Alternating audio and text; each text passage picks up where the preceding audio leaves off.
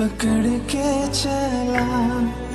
ममता के आंचल में पला।